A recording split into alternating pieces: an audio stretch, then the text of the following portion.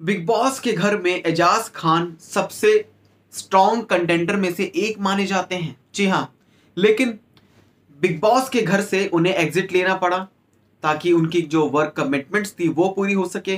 तो एजाज खान ने अपनी फ़िल्म की शूट के चलते बिग बॉस के घर से वो बेघर हो गए थे।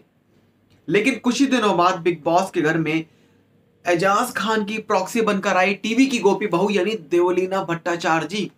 और घर में आते ही देवलीना भट्टाचार्य जी का वायलेंट बिहेवियर जो कि निकल के सामने आया सबसे पहले आपको बता दें कि टाइम्स ऑफ़ इंडिया से एक इंटरव्यू के दौरान एजाज खान से पूछा गया कि आखिरकार उन्हें कैसा लग रहा है कि देवलीना भट्टाचार्य जी उनके एज ए प्रॉक्सी बनकर आई है उन्हें वो रिप्रेजेंट कर रही है बिग बॉस के घर में जिस पर एजाज खान कहते हैं ever since I came out of the house, I have been shooting back to back and I have no idea what is happening inside the house.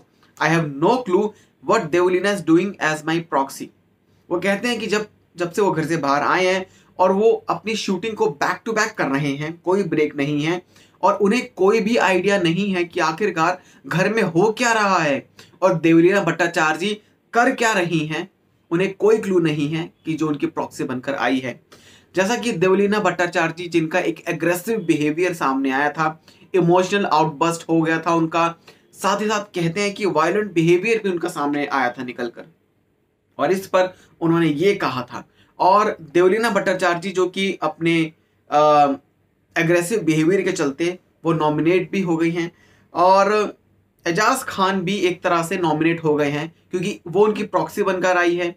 और जब वो प्रॉक्सी बनकर आई है तो वो जब उन्हें रिप्रेजेंट कर रही हैं तो वो नॉमिनेट हो चुकी हैं। तो मतलब एजाज खान भी बिग बॉस के घर में नॉमिनेट हो चुके हैं।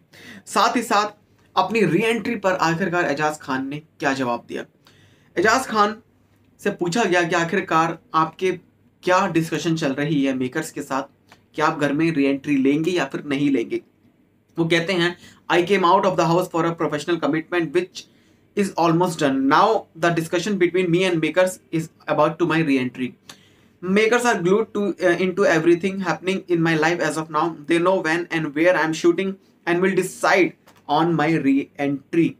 So उन्होंने बोलते जो मेकर्स हैं वो उनके बारे में सब कुछ जानते हैं कि वो कहाँ पर शूट कर रहे हैं किस चीज़ का वो शूट कर रहे हैं साथ ही साथ उन्होंने ये भी कहा है कि जिस चीज़ के लिए वो घर से बाहर आए थे वो शूटिंग उनकी ऑलमोस्ट पूरी हो चुकी है और अब उनकी डिस्कशन चल रही है मेकर्स के साथ कि वो बिग बॉस के घर में किस दिन एंट्री लेंगे? क्या कहना चाहेंगे आप? कमेंट करके ज़रूर बताएँ। साथ ही चैनल को सब्सक्राइब करें ऐसे ही अपडेट्स के लिए।